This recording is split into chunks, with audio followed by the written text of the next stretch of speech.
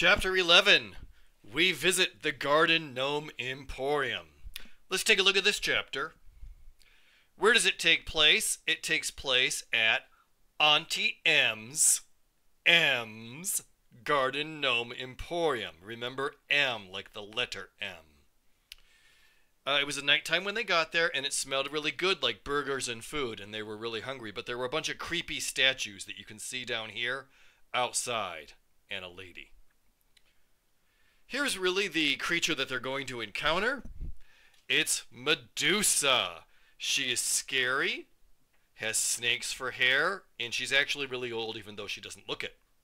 Here's a quote The sound of tiny snakes right above where her head should be. Okay? Her hands had turned gnarled and warty with sharp fingernails. What happened in this chapter? Grover Percy and Annabeth go to Auntie M's garden, or uh, Gnome Emporium.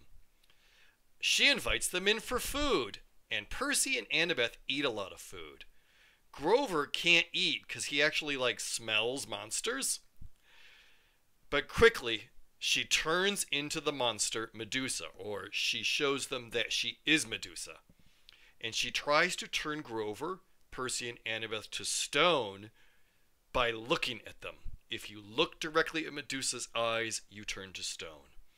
Grover flies around with a tree branch, hitting Medusa with it, and then Percy gets a glass ball and shows it to Medusa, Medusa while he gets his sword out. He swings his sword and cuts her head off right after he turns her to stone. So she sees her reflection and he's able to cut her head off. And at the end of the chapter, Remember this. He puts Medusa's head in a box and mails it to the gods on Mount Olympus. He actually mails it to Zeus and says, from Percy Jackson. So I guess a Twitter summary is going to be about the same.